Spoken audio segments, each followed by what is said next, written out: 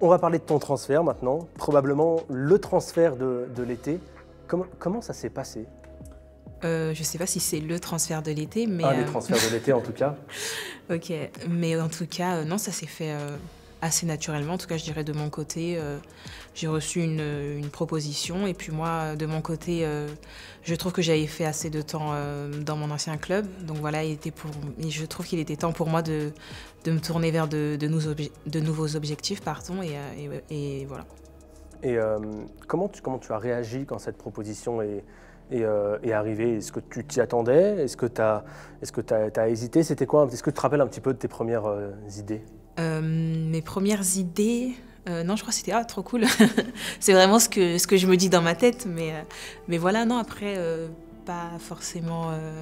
non, rien de spécial, juste ouais, trop cool. Et comment, comment ta décision s'est faite? Est-ce que ça a mis du temps? Est-ce que tu as hésité ou est-ce que ça, s'est fait assez naturellement?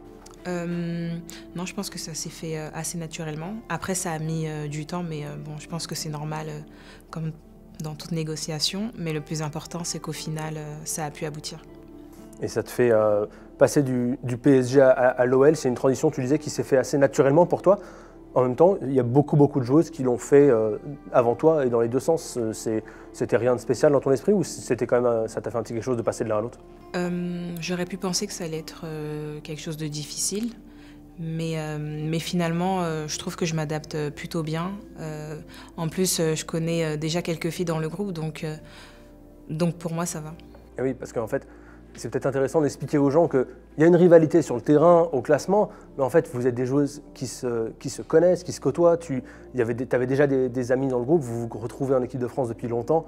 C'est pas, vous, vous êtes pas, euh, il n'y a pas une rivalité en dehors du terrain spécialement. Oui, c'est ça. La rivalité, elle existe vraiment que, que sur le terrain. Une fois que c'est fini, euh, il y a des accolades, on retrouve nos copines, on discute, et, et puis voilà.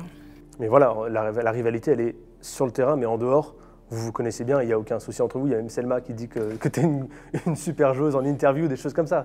Oui, oui, c'est ça. Non, euh, franchement, la rivalité, elle est à 100% sur le terrain. Et puis dès qu'on sort du terrain, c'est tout autre chose. De qui est-ce que tu es déjà euh, proche dans, dans le vestiaire lyonnais, par exemple? Euh, déjà euh, Perle, comme j'ai joué avec elle au- dans mon ancien club.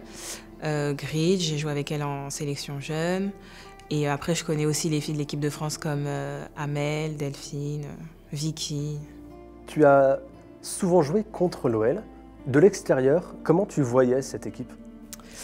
Euh, de l'extérieur, je trouvais que c'était une équipe euh, très complète, euh, que ce soit les joueuses qui sont sur le terrain, mais, mais aussi les joueuses en dehors. Je trouve que c'était vraiment un groupe complet. Quand on arrivait, on jouait face à elles, on se disait que ça allait être difficile. Bon, c'est pas impossible, mais ça allait être vraiment difficile.